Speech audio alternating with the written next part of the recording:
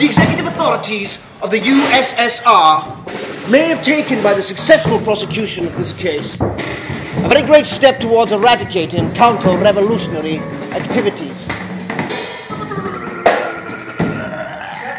Ja, das muss eine tolle Regierung sein, wenn man sie erschießen muss. Чему я каждый день рискую проснуться расстрелянным. Warum riskiere ich jeden Morgen erschossen aufzuwachen?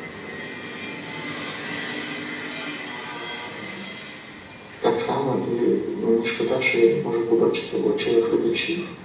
А, зараз в залі а, мені б хотілося побачити ваші очі. Ich sage die Wahrheit! Seit wann haben Sie begonnen, die Wahrheit zu sprechen?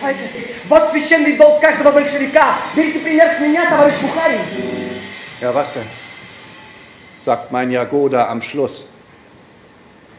Man wird sich ja wohl nicht für umsonst verrenken vor einem Volk, das solche Vorstellungen duldet.